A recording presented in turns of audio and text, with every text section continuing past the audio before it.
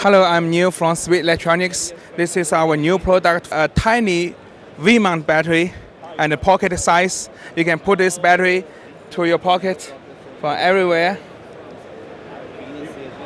And and it's the standard V-mount battery and use uh, we have the uh, D-tap output and the USB output. The USB output is 2 amperes, so it's a fast charging for your cell phone. And the V-mount battery it takes 98 watt hour. The uh, it's a fly friendly capacity you can take it with the airplane. And also we make such a, a dual battery adapter that means hot swap. You can see here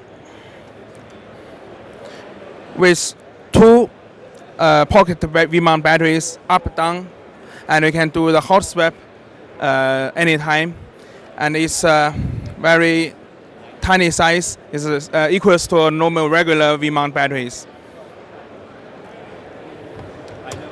Uh, another point that we make this battery internally technology is a unique technology without any wires inside. That means the battery, all the uh, devices, the D-tap devices, the USB devices, uh, power pins, all the devices are directly mounted to the PCB board. There's no any wires inside. In that, that means the battery is uh, uh, solid and uh, uh durable and uh, uh, it's more reliable than the normal batteries.